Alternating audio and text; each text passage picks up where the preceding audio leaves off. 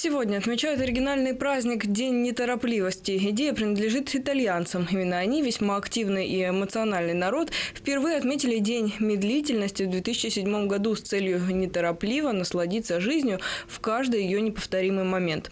А итальянская ассоциация искусства медленно жить даже разработала 14 заповедей отказа от спешки, которых следует придерживаться, чтобы успеть ощутить все прелести бытия и сделать свою жизнь более комфортной. Такой интересный праздник не мог остаться незамеченным, и в последующие годы инициативу проведения Дня неторопливости поддержали многие мировые столицы.